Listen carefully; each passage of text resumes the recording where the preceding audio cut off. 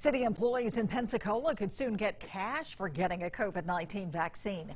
Mayor Grover Robinson wants to offer up to $100 to employees who get vaccinated. Right now, only about 40% of the 800 city employees have received the shots. The money would come from the American Rescue Plan. The mayor says at City Hall, they can't afford to have a shortage of employees. At the city, we don't want to have any labor shortages. So we are making sure that we have uh, the opportunity for our employees to get vaccinated. And if it's a way to induce them, we're not going to force them. We're going to use the free market enterprise system to encourage them. The City Council will vote on whether to approve the money at its meeting Thursday night.